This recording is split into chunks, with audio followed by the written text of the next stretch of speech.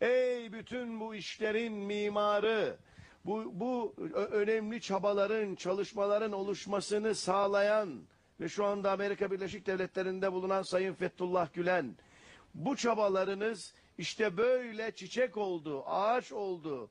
Şimdi coşkuyla on binlerle buluştu. Bütün Anadolu'yu geziyorlar.